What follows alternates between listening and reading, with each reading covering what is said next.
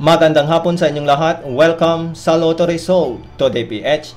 Heto na ang mga resulta ng mga PCSO games na 3D Lotto at 2D Lotto ngayong 5pm draw, February 6, 2023. Araw po ng lunes. Para sa resulta ng 3D Lotto ngayong 5pm draw, February 6, 2023. Heto ang mga lumabas na numero 8, 1, at 8 in exact order.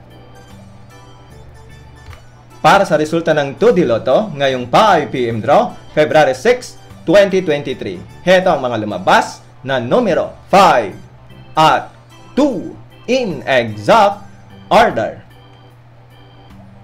Muli, maraming salamat po sa panunood sa ating video ngayong 5 PM Draw.